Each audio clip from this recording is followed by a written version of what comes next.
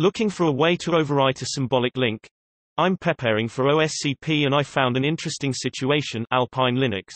There is a daemon super underscore service executed by root that is reading configuration file from var super underscore service configs, which is a symbolic link to location that my user John has no write permissions.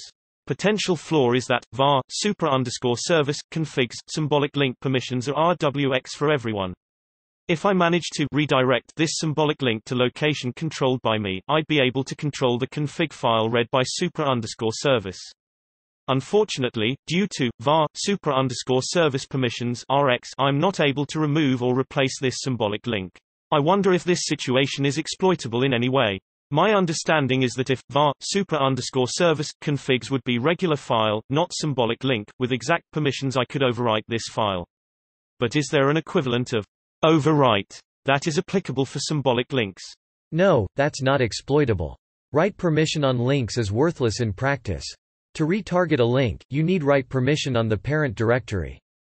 To modify the file or directory that the link is targeting, you need write permission on the target. Write permission on just the link lets you do neither of these things.